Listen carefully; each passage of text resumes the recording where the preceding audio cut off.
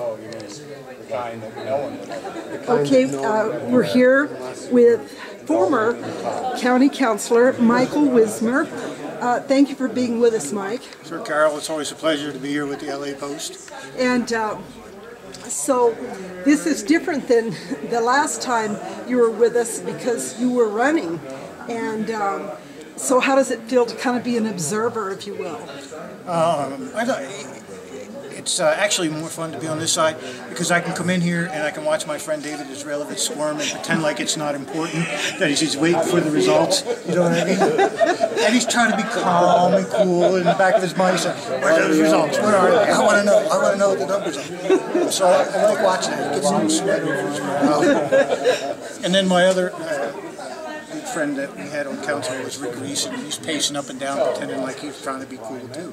So it's fun to watch. You can Yes. sit back and um, uh, watch them go through a little bit of anxiety.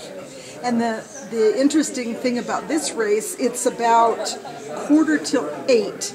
We're 45 minutes into when the poll should have closed. However, in the White Rock Fire Station, there's still long lines and they will not close down that poll until the last person in line uh, at 7 o'clock gets a chance to vote. Even if it goes to 8, 8.30, whatever it takes. Same at the golf course in Los Alamos. Right, and uh, you know they. Uh, there's a pretty good turnout. There's over 8,000 that have uh, voted. Uh, so for a non-presidential election, that's that's really a pretty good turnout for Los Alamos. But of course, Los Alamos always turns out pretty well.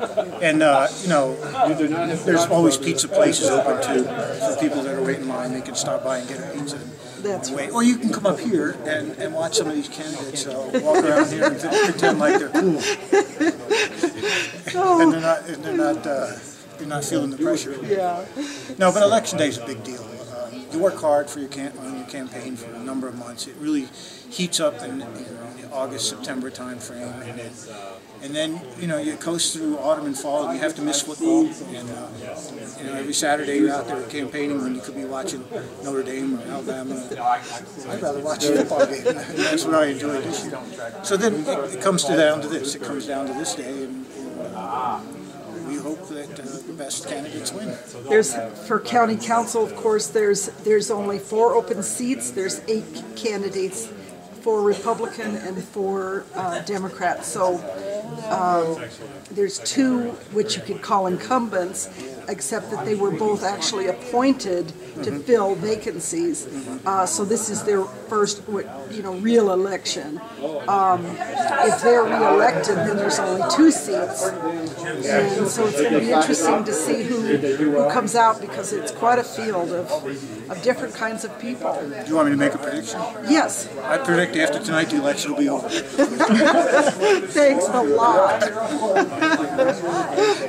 Yeah, and, and it's uh, it's just an anomaly that there were two vacancies on the council uh, in the past six years, and uh, we had some very good candidates, and we picked some, some good councilors uh, that, are, that are served well. And we'll see, we'll see if they get elected. They, they can take off their diapers.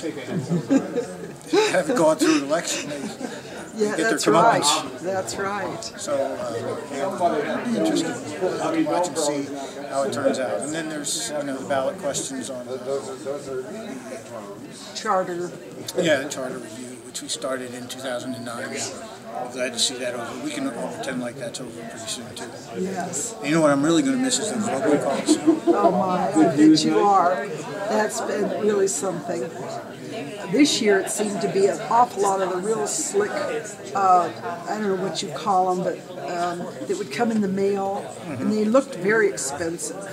Uh, and they were just full of very negative uh, comments about one candidate or another, and and the candidates don't actually even know about it. It's PACs that just do this. Yeah, you know, the Supreme Court ruling in Citizen versus United uh, about uh, unlimited uh, amount of money to flow into PACs. So yeah, it'd be interesting to analyze what the impact of that has on elections and whether people really are susceptible to that kind of campaigning. You know, luckily in Los Alamos, at the local level, at least the council, the discourse is pretty similar. People are professional in their office in Los Alamos, generally speaking. So you really never get bad candidates here.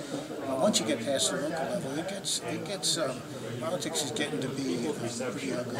And we'll see on a national level too what happens if there's any, uh, what voter ang- angst is out there. So, You could tell that they were making sick, sick. an interesting year, even though it's a non-presidential year. See, and the fact that everything is delayed gives you a chance to get me back on here. So, Yes, that's right.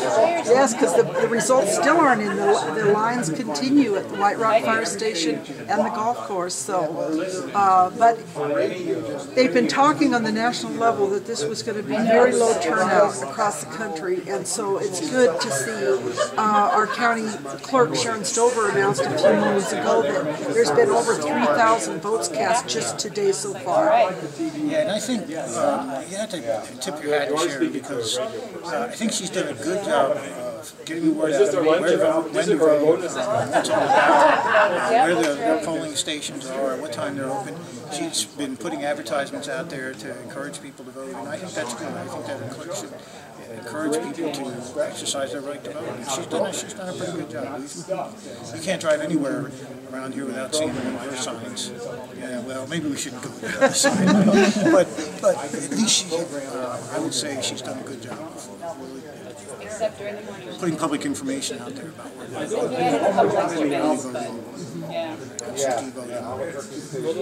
And I think she was out in front of the firehouse in White Rock, lining people up and giving out pizzas. Come on in, vote tonight. She- She's got a passion for what she does. Yes, she does. I know she was out today, uh, in, here in, we're in the municipal building, and she was here giving out bottled, bottles of water, so, Yeah.